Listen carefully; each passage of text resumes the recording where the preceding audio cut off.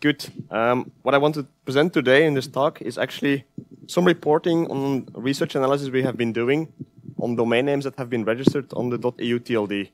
So we have actually been analyzing all the registrations in .eu, and we're actually trying to uh, understand how large bunches of malicious domain names are being registered by malicious actors. And the work I present today here is joint work between our research lab at KU Leuven and also EURid, which is the registry for .eu. So together, actually, we did this analysis, and we came to the insights that we can present today. How will the talk look like? I will first start with a little bit of research context. What do we exactly mean with malicious domain names? How do actors actually work? What is the main idea? What do we actually want to research in this analysis? Then we go a little bit deeper into the data set that we have been using in doing the analysis, the malicious domain names that we actually found in the .eu TLD. And then I will show you some of the insights we found in longitudinal analysis. We studied the domain names for 40 months long. Those insights was actually trying to understand how do malicious actors work, and more important, if we understand how they work, can we actually make it life harder for them? Can we actually make it much harder for them to register domain names? And the last two parts in the, the presentation will be rather short. They were actually looking forward. If we now did all that work of doing the manual analysis, how can we automate this to do this on a more regular time frame, but also on more TLDs? And secondly, if we have all the information available of how attackers actually work, maybe it's time to take the next step. How can we actually prevent or detect this as close as possible to the registration time? But first, a little bit of context. So, what are those malicious domain names? Well, most of you here already very familiar with the fact that domain names are a key factor in internet and also for attackers. They're actually using this as kind of an enabler to launch their attacks. For spam, they need domains to send domains uh, their mails from. To communicate with the uh, command and control in botnets, they need domain names because they're actually much easier to replace or to update than fixed IP addresses. Same for phishing and for malware. And the trend that we see recently within the, the malicious uh, community is that they're actually trying to avoid blacklisting. They're trying to be much more in hit and run strategy. So they're actually using a domain name and then they disperse it. They go to the next domain name. Because once it's blacklisted, you can't do anything with the domain name. Most of the mail servers will block you and so on. So you see that there's actually a very fast flux in the use of domain names for one particular attack, and it's a single shot. After uh, a study in 2013 already shows, 60% of the malicious domain names after one day is not used anymore. So you just use it for less than one day, you throw it away, and you go to the next domain name. So that's the idea. But if that is the, the context we're working in, one of the research hypotheses we had is if malicious actors need so many domain names, well, they actually need to register the domain names in bulk because they need for a longer period of time a continuous stream of new fresh domain names that they can use for abusive uh, measures. And if that is the hypothesis, we can actually validate that, but also we can actually search one step further. Are we able to identify such bulk behavior in registrations based on certain commonalities, common patterns that we see between those malicious registrations? Uh, as I already said, the long-term goal, if we have such patterns, if you understand how that registration process is working, then maybe we can go one step further and detect and prevent them before they do any malicious harm or any harm at our systems. That's the main idea of this presentation. Of course, in order to do such an analysis, we need data. We need to actually see the registration data. We need to actually be searching for patterns in that data set. So this collaboration between DistriNet and uh, EURid .eu is actually run by EURid Registry. It's the seventh largest country code TLD that we have. They have about, I would say, 4 million domain names now in their dataset. And the dataset that we have been using in our uh, analysis is only domain names that were for the first time registered. So if a domain name is transferred or re-registered, we did not take that into account in our analysis. But in our analysis during 14 months, we had 824,000 registrations. About 2.5% of them were flagged as malicious by external parties. So this is the data set we're working on. All the graphs and so all the figures you will see today are based on this data set. What information did we have available? Of course, the basic information about the domain name, also which registrar has been used, when it was registered. Very normal, of course. We also have, as part of our process, information about the registrant, who is actually registering this domain name. We have a company name, name, the language being used, the email address, phone, even a postal address. The main idea of doing registrations in the .eu TLD is you need to provide correct uh, contact information in order to register a domain name. Of course, you also need some technical details to actually operate with your domain name. So also name server information is available. And if you are using name servers within your own domain, you also need glue records, IP addresses that actually bootstrap the whole way of actually looking up your name server. So this is the information that we got available by actually collaborating together with EURid, uh, the .eu registry. We did enrich that data set with two parts. First, we want to, want to know which of those domain names are actually malicious. Because we can see 800,000 domain names, we need to know which are the ones that we are interested in our analysis. And for that, we actually queried three sources of malicious behavior, the blacklists. We used Spamhaus, we also uh, queried SURBL, and we also used the Google Safe Browsing list. And we did this typically on a daily basis for 13 days, and then every week we repeated until six months after registration. This is one part. Now we know which domain names in our dataset are malicious. The second thing is we also wanted to see where the name servers are located. So we wanted to have actually the geolocation information of the name servers, and therefore we used the MaxMind free database to look up the name servers at the time of registration. Okay, now we have all the components. We know which data dataset we're using, all the instances that we have been making. We know what we actually want to search for. Now it's time to actually go and look in that longitudinal analysis. But first, let me introduce you the concept of a, uh, of a campaign. So a campaign is a set of registrations that are registered with malicious intent. They are most probably from the same actor, so the same organization, the same team, the same person, and they are typically registered over a longer period of time. So this correlates with the hypothesis that we had, are being registered in bulk over a longer period of time.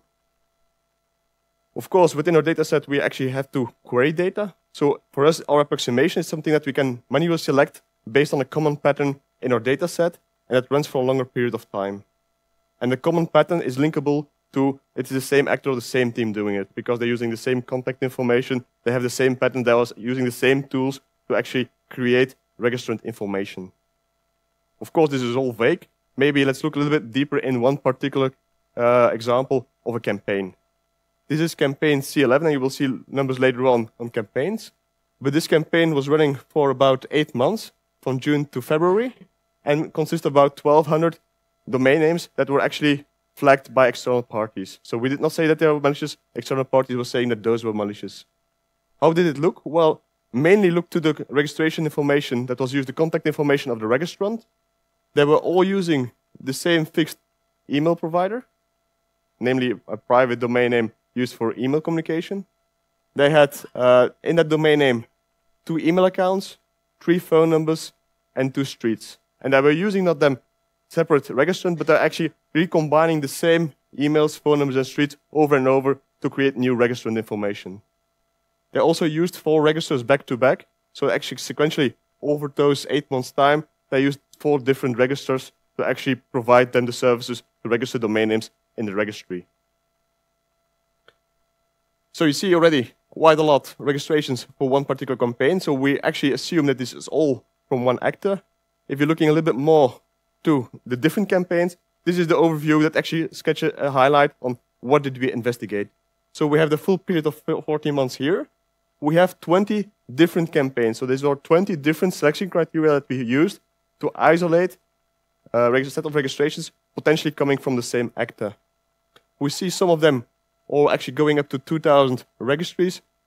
Some of them are only about 100, 120 registrations. And the, the size of the bullets on the line or actually the sizes of how many, how intense was that campaign on a day-by-day -day basis. And you see it goes up to 400 registrations that one day, one campaign can deliver. So some of them are a little bit more on strict days. Some of them have a very strict pattern that they are doing it on a very regular basis over a longer period of time. So this is the base idea, but of course this is just the graph that we say this is the end result. Let's now go and look a little bit deeper in what we actually found as uh, interesting insights in those campaigns. But first, let me recap how we actually did that campaign identification process, because it helps to understand how we came to the concept of campaigns. So in order to actually do that, this is a more iterative process. We typically start from all the malicious domains that we have in our data set. But there, of course, you have like 21,000 domain names. Where do you start looking at to find certain selection criteria that actually can link similar uh, registrations to each other? Well, we have different tactics that we have been using. For instance, you can look to days that are very intensive with malicious registrations. You can look to uh, registration details that are reused quite a lot. For instance, one mail provider or one street or one email address is actually being used in a lot of email registrations over time. Then that's a good point. You could also look to registrations that have recognizable patterns. For instance, we found email addresses with very distinct patterns, like this one has a kind of a number and then a certain mail provider. And you also see the frequent combination of two illogical uh, combinations of uh, registration. For instance, a certain country and a certain mail provider that only appears within the malicious registration dataset. And we then apply this on the benign and the malicious data uh, data parts and try to see which of those criteria do fit well in the malicious set and do not pop up a lot of results in the benign set. Because that's a kind of good of identifier. It's really a good precise identifier for malicious traffic.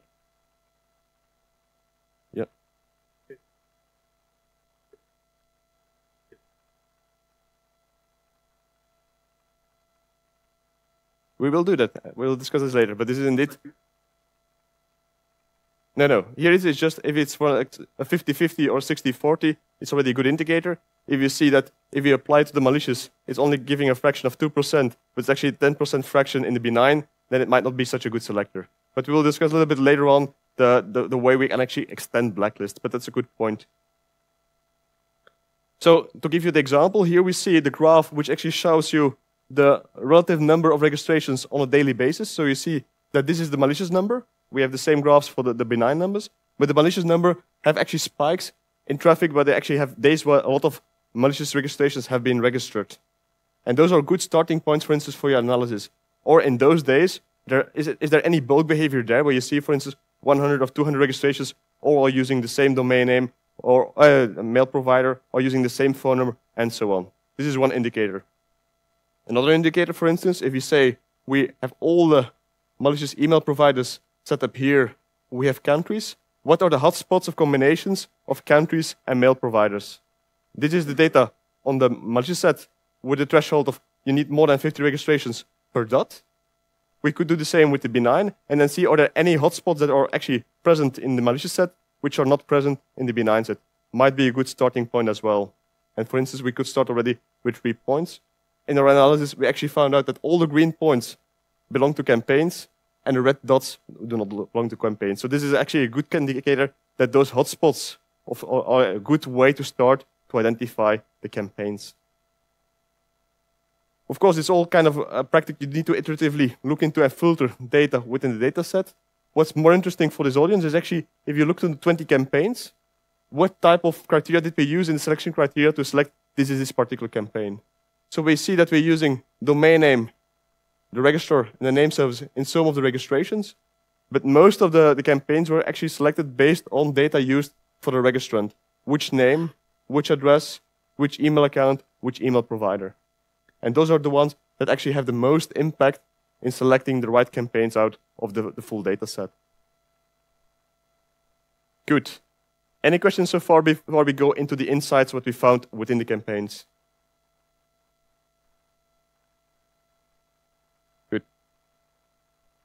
Yep.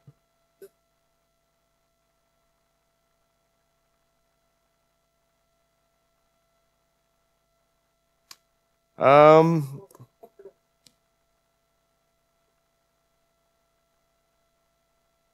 okay, let me re-answer that question after the first insight, because that might actually be a good mapping to, to answer that. Um, what we used here is a full post-factum analysis, so we actually have the data, we waited for a few months and then we started the analysis. Of course, then we're looking when was that domain name being listed on a blacklist. And that's actually the answer there. Any other questions?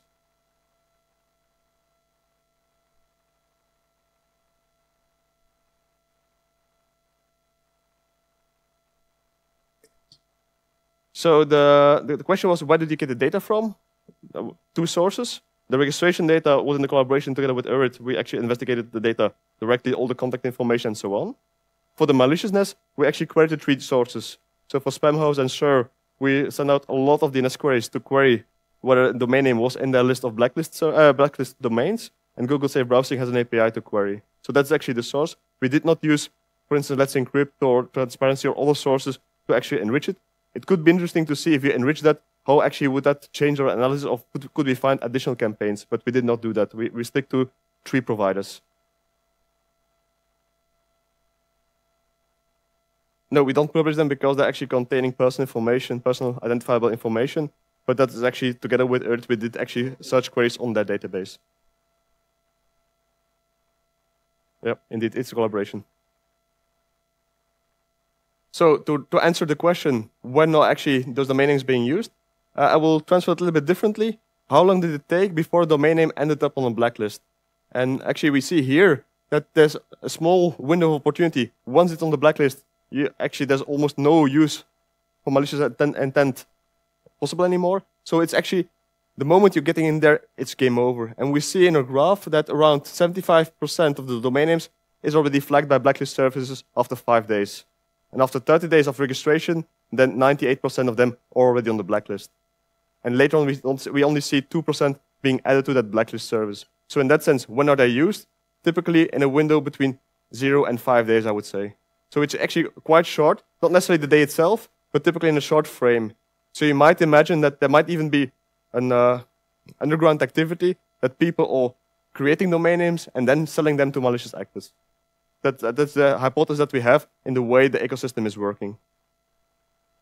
So yeah, so the delay is because we only see the data after uh, some period of time.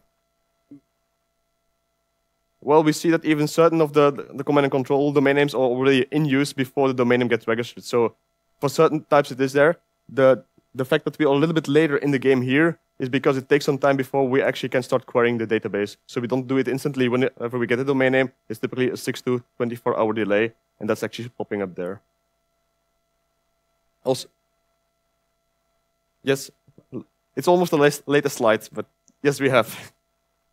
to give you an idea, we are performing, I think, 700,000 DNS queries a day to actually get that malicious activity data. So we're doing quite some, doing it more intense would be not feasible at this moment. Second thing, where do the data come from? So I already mentioned that we have three providers, but what actually is the data that we see? For what are the campaigns being used? We see these are the typical abuse types. We see the majority of them or actually being for spam. So it's also uh, quite obvious that for spam, there's much more reporting. The moment you get spam in there, you can report, you can collect, you can see it over different mail servers. Domains get blacklisted. For command and control, it's much more difficult to get the whole hold on how many domain names are being used for command and control. So in that sense, I think the other numbers, there might be much more domain names and our registration data set that are used for malicious activity, but since they are not arriving on blacklist, we don't have them in our malicious data set. Second insight, which of the domain names, uh, which of the providers did we use for blacklisting and which were actually interesting? Well, we see between the Spamhaus and SURBL that there's actually a good, um, I would say, coverage by pulling them together. We see certain of the campaigns were only detected by one of those, and for others, actually, they're actually finding the complement of each other, which means you actually need multiple sources to get a good ground truth. Also interesting fact, if you're looking to the last column, the Google Safe Browsing, less than 2% of the domain names that we actually consider in our malicious dataset came from Google Browsing. Might also be related to the fact that the domain names here are more infrastructural and related to spam, and those are less reported within the browser. Again, it depends on which are the use cases that you're looking for. So in that sense, when I'm talking about malicious campaigns, keep in mind it's mainly what is being used for spam and phishing. Good. I already showed you the graph, and if you look to the graph, you might already see with the 20 campaigns, certain things are popping up. You see some interesting things that are already in there. And the first thing is, there might be actually a large variety in the way campaigns are running. So for instance, here we have a very small campaign. It's, it's only 37 days, but it's quite intensive. It already has about 2,000 registrations in those 37 days. At the same moment, we also see within our data set that there are campaigns running over about 300 days, reusing registrant information, and only having 154 registrations. So it's not that all the actors are actually abusing or uh, registering the same bulk number of domain names with the same tools, with the same intensity. Another interesting insight that we had is it seemed that the malicious actors are humans as well. In the graphs that we found, here we're plotting the uh, hour of the day, uh, the, the, the moment that a registration has been done over day-by-day basis. And you see the, the greenish-blue line is actually the benign registrations and their daily share. And you see they're all more registrations during the week and less in the weekend. But when we're looking to the malicious registrations, we see that the spikes are much harder. So you see almost no registrations during the weekend, and most of the malicious registrations are happening during the week. Of course, we can't say that this is purely because the malicious actors are working on, on business hours. It, it could be. We can only make hypotheses about this. Another hypothesis could also be that it's much more interesting for them to mimic the, the office hours because then they actually might go a little bit more under radar. If they would do all the registrations on a continuous basis, they would actually already differentiate versus the benign traffic. But maybe they just, they just overdid it. They're doing too much registration during the week versus the weekend, but we see such a pattern. Okay, we, we can't make a conclusive answer why it is, but more interesting if you're looking to the time of the year. So we're doing the same analysis for the full period of time of 14 months. Here is only the malicious traffic. Here again, we see that it's like a, a summer break, a Christmas break, and a spring break. I'm not sure whether they're actually taking holiday. I hope they do because it's from time to time happy to, to make a holiday. But it could also be that it's because they want to be as effective as possible. It could be if they're launching a new spam campaign during the summer break, that they actually uh, has less effect than doing the same spam campaign in June or August. So also there, we might see the pattern, but we're not sure if it's actually a fact that they are actually taking a holiday or the fact that they're actually trying to make it as most effective as possible. We saw certain topics, for instance, on May 1st and so on, um, small spikes uh, before and after, but it also you have to take into account there for the one days, there could also be certain effects at resellers or registrars because they're using the normal ecosystem to, reg to uh, register domain names. It could be a spike on Black Friday, could be because one of the resellers is just giving them very, very cheap domain names. So in that sense, we didn't dive in into much deeper than the week pattern. That week pattern was continued over the whole year. The, the year pattern we can see, if you dive in deeper details, there are so many uh, effects that we have not under control that can influence the data. But, but indeed, there could be effects there as well. But a little bit more about uh, the business hours we try to actually see at what time of the day did they register. And that's not for all the campaigns, but some campaigns have actually quite distinct patterns. For instance, let's look at C18, this campaign 18. We see that they're typically working in box from 8 to 10 hours. It's not that they're working continuously, they're doing it slow, but all the domain registration are always done in that kind of period of time. Interesting. Again, is it mimicking or is it actually that normal behavior? We can't actually know for sure. Yeah, it's also time zone shifts. That's true. I actually think it's to the west. Because they're later in our time zone. And yeah. it could also be that they're just lazy and, and also only get up late at the morning and so on. I'm not sure. But again, we only see the data. We don't see the person after the data. It, it would be interesting to see the one behind the data. More interesting on the C11, we see a morning and an afternoon do they actually take lunch breaks of about two hours? It is quite long. Again, we don't know for sure. We only see that certain campaigns are actually reflecting certain behavior that we did not expect when we started this analysis. But, but be reassured. We think about automation. Some others do think about automation as well. So here we see a campaign that is doing kind of a not so intensive campaign, only a few registrations per day, but it's always doing it at the same hours. And it's actually doing it from January onwards two times a day. And if you even mind this European summertime, this is at our site that our system was just changing to, to summertime. But you see, they are actually most of their activity is always on the same time. It's just a cron tab or anything else running on their system. So not all of them are working uh, according to office hours. Not all of them are just human typing in things. I didn't put it in the presentation, but uh, one of the interesting things, we found actually typing mistakes in registered information domain names, and so on. So it might actually be that they have a list of things that they have to pull, and it's easier or cheaper to type it in than automate. So now the question is, who is doing all that stuff? Who is actually registering all those domain names? Or who is facilitating that? So the first thing that we looked at is who are the registrars actually enabling them? And we saw, for instance, register 5, we of course obviously anonymized this registrar. He's actually responsible for 50% of all the malicious domain names in our dataset, which is kind of interesting. Is that register of bad intent? Not sure. It could be that he's actually the cheapest one, and that the, the, the, uh, the malicious actors are just being very cost effective in registering their domain names. It could also be because the whole ecosystem of DNS is working with registrars and resellers, I thought a lot of resellers have actually good contacts with this registrar.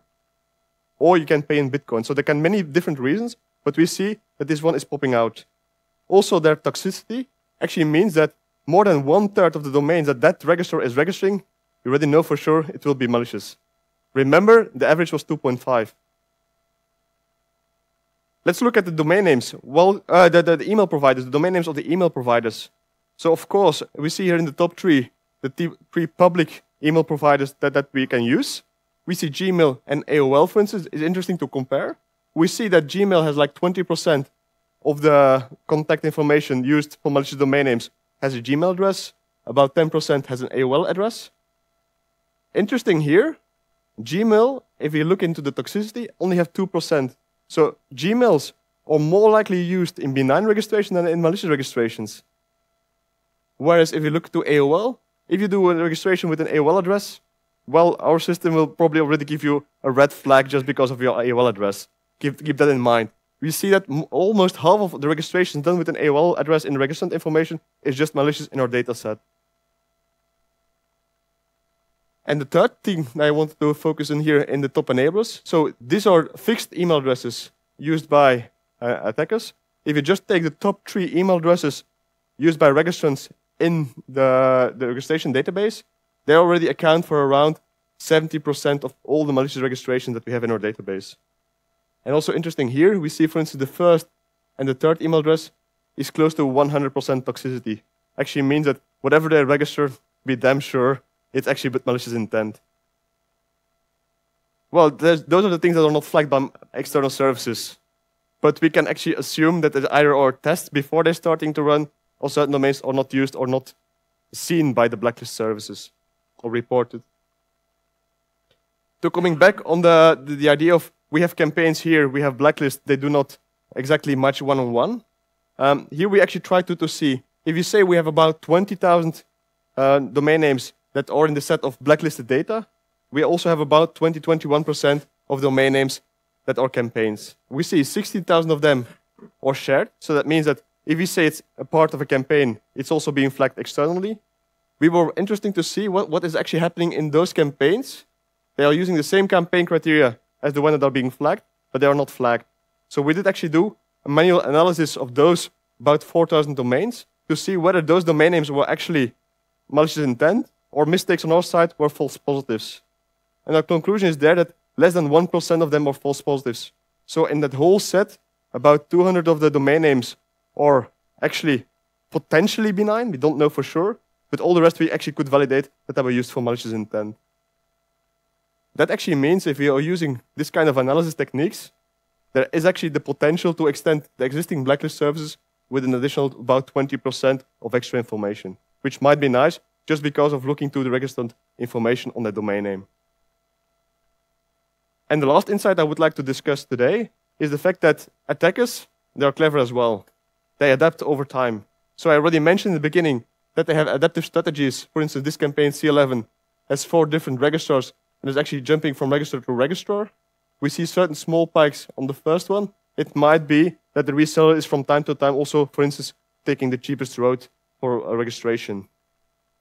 But the registers is something obviously that we can see in the graph, but we saw much more variation within the adaptations done by the malicious actors.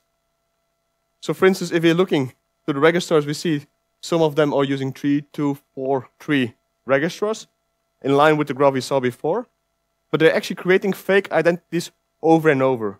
So in order to actually register the domain name, a malicious actor needs registered information. They need an email address, a phone number, an address and they're actually using tools or they're doing it manually to create new fake addresses, new fake numbers, new email addresses. And you see certain of them are actually just sticking to one phone number or one email address, but some of them are actually using 20, 50, 70 of those identities.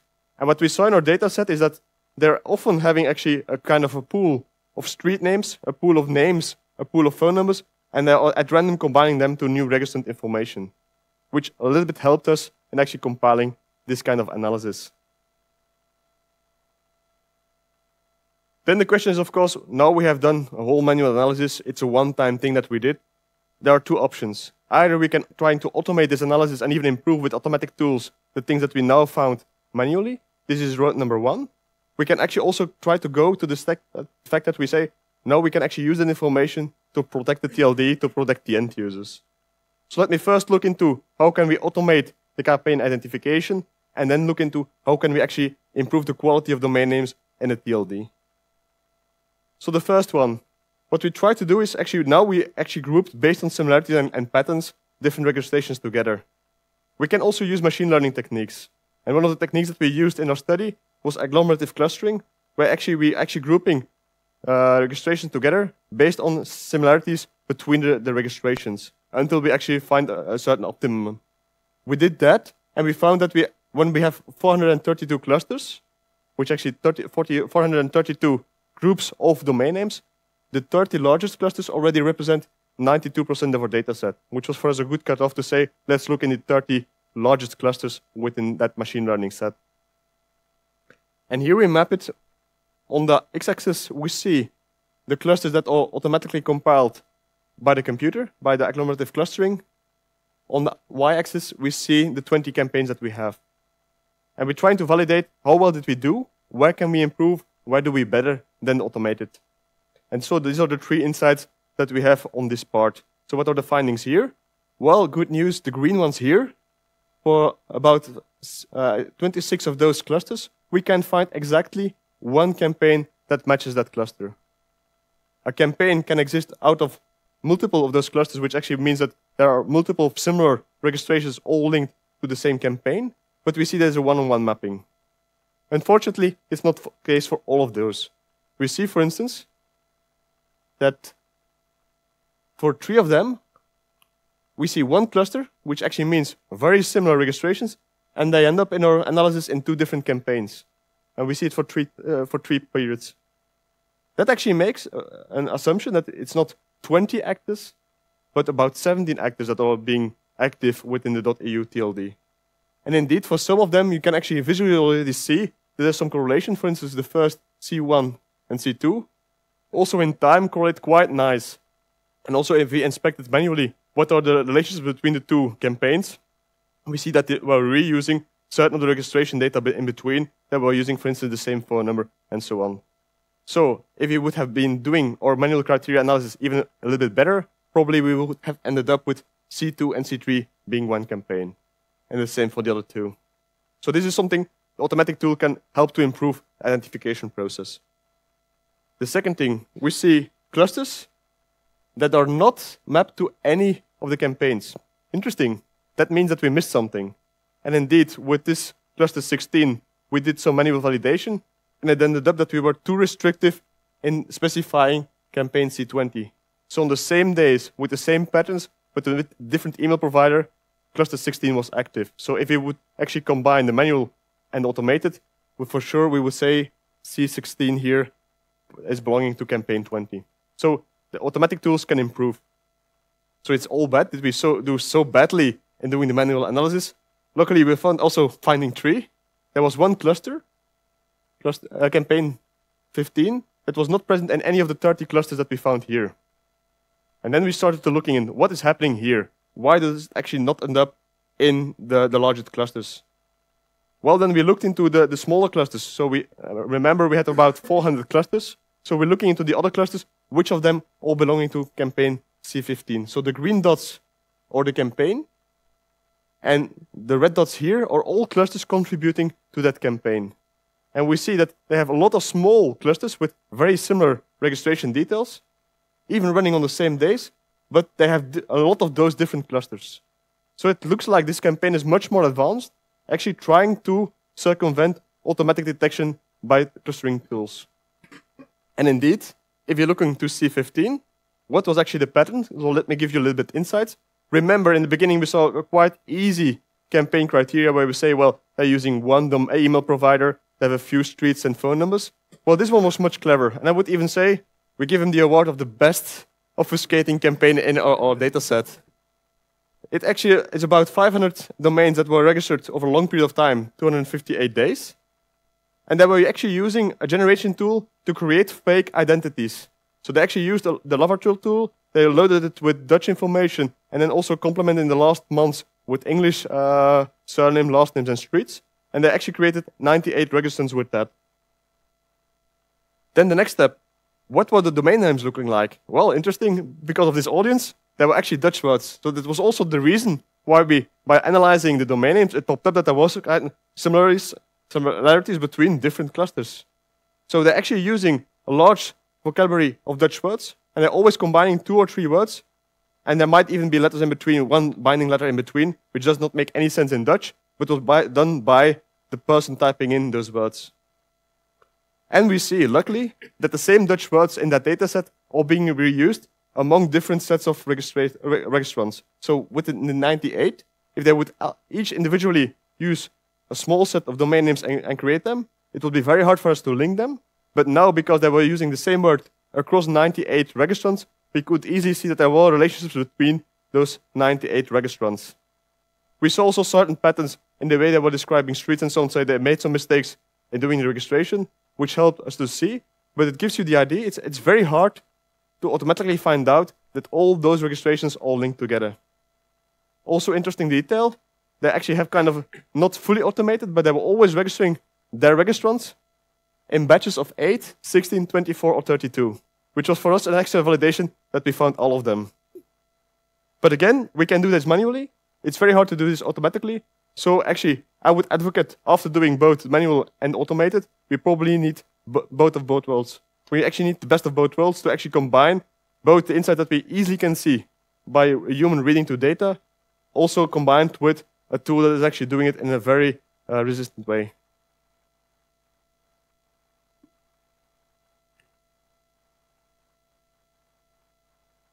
Yeah, and also, well, they, because they were using a generation tool, they were also reusing certain registration details across different registrants.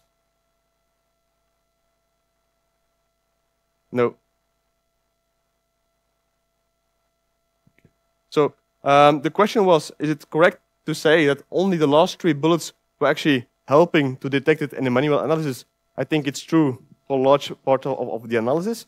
Um, there were certain things that were being reused by the uh, Laravel tool as well, so that we could link. And they also made some mistakes in the way they were entering street names, which also was something unique compared to all the other campaigns within our dataset. But indeed, it was mainly because of the Dutch words that we had a good trigger we, we, we need to investigate. Also interesting, this was the campaign that was not seen very well with Blacklist. I think only 50% of them were on Blacklist services. So with that, I actually going to the end of my talk. So I, promised you to tell a little bit more how can we automate this and actually making a TLD more secure. Well, how can we go with detection and prevention? And there the insight is, if you now know all those characteristics of how domainers are actually creating new domain names for malicious use, what is the next step that we need to do to actually at registration time already detect or prevent malicious domain names? How far can we go there? So what we did is actually, we again used machine learning tools we used agglomerative clustering based on the similarity, similar as we did in the previous exercise. We are also using classification based on the reputation of a phone number, email address, register, and so on. And we're actually combining this in a kind of prediction service. And we now have already early results over the large uh, data sets from the past that be around between 60 and 70% of the malicious domain names can already be found at the time of registration with a very, very low false positive rate, like two registrations, three registrations a day which actually means we can easily route already more than half of all the malicious domain names just by making it much harder for the domainers to, make their, to get their registrations into the system. And as we speak, we're actually deploying this as part of EURid's trust and security program to actually prevent those domain names from being registered in the near future within the .eu TLD. So let me conclude. We actually analyzed 40 months of registration data we saw the hit and run strategies what already mentioned in uh, literature. We saw some very long-running campaigns, and some of the campaigns already started at the beginning or were even continued after our dataset was ending. So it actually means that this is actually an underestimation of how long campaigns are running. We see variety in intensity, duration, but more important, we see a variety in how adaptive they are to actually lure around the blacklist services. We saw some interesting alignments with business activity on purpose or mimicking, we don't know. Um, we saw also that the top three facilitators have a huge footprint. They actually, the top three facilitators, registrars, email addresses, or email providers actually represent a large fraction of our data set. And we also saw that with the campaign analysis, we actually can extend the know-how we already have in blacklist services. We saw that we can actually work towards automated campaign identification, and it would actually be a nice interplay between manual and automated. And we also see that we can go to proactive detection and prevention, and I hope within six months I can give you an update on how successful this is actually in practice on the .eu TLD. If you want to know more, we also have a paper published with much more details on all the different parts of the campaign analysis. You can easily download it on the URL provided there. And with that, I'm open for questions or for lunch. You decide. Thank, Thank you, Lieven. Thank you. Questions? Because you, are, you will have to restart from scratch then. Yeah. Well, I, I will be honest. We didn't say all the details. Uh, we had uh, nice, interesting conversation with the, all the team members and also with the .eu TLD. We give you the flavor, but there are much more details that actually helping us in detecting. And that's the reason why we don't present the full data set, that we don't present the sector criteria, but give you rather flavor. We used email address, we used the street name, and so on. But you're fully right. The more, the more we disclose, the easier it is for attackers to actually apply it even on other domains. Um, of course, we like the idea that the Dutch are the best, but what is your confidence that um, uh, that you haven't missed campaigns in your analysis? Yeah. So we did for sure miss campaigns. Um, from all the domains that were blacklisted by Spamhaus and others, 80% of them ended up in one of the 20 campaigns. So I would say the 20 campaigns already have like an 80% coverage of the existing black services. If I look to how many domains are probably probably generated by DGA and so on, I would say the 2.5 is probably an underestimate. So we're missing things, but we started from the point, what do we see from the blacklist services?